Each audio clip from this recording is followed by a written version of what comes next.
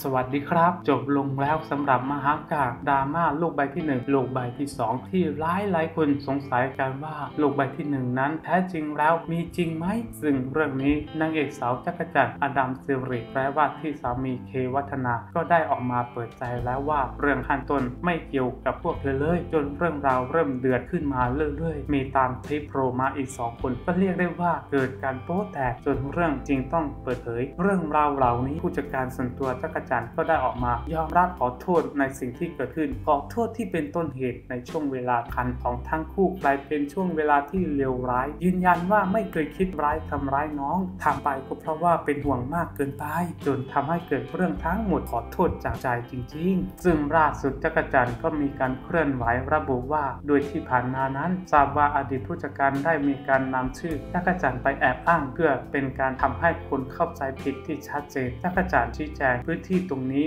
แจ้งว่าจักรจันทร์กับอดีตผู้จัดการไม่ได้มีการติดต่อใด ๆ ซึ่งกันและกันไม่มีการเกี่ยวข้องกัน ไม่ว่าจะในแง่มุมไหนๆทั้งนี้เพื่อเป็นการปกป้องการกล่าวอ้างเกี่ยวกับจักรจันทร์ไม่ว่าในเรื่องใด จึงขอชี้แจงไว้ให้เข้าใจตรงการตามนี้นะคะ ซึ่งในขณะที่ทางด้านทนายนิด้าก็ได้เคลื่อนไหวอีกแล้วว่าสำหรับคนที่สร้างเรื่องโลกใบที่1โลกใบที่ 2 ให้กับคุณเคนแล้วก็คุณจักรจันทร์ได้รับความเสียหาย ถึงเวลาที่ต้องออกมารับผิดชอบกับเรื่องนี้อย่างเป็นรูปธรรมเสียทีผู้เสียหายทุกคน ทั้งที่ปรากฏในภาพนี้และก็ไม่ปรากฏจะเดินทางเข้ามาแจ้งความร้องทุกข์ต่อพนักงานสอบสวนสอนอบางเขนในวันพุธที่จะถึงนี้เวลา 13 นาฬิกา 30 นาทีเพื่อเอาทุกคนเกี่ยวข้องและก็ละครลวงโรคที่เข้าสู่กระบวนการยุติธรรมทางอาญา เดี๋ยวมาดูกันว่ามีกี่ EP แฮชแท็กจักรจันทร์อดัมเซลฟรีแฮชแท็กทนายนิด้าแฮชแท็กทนายหญิงสายลุย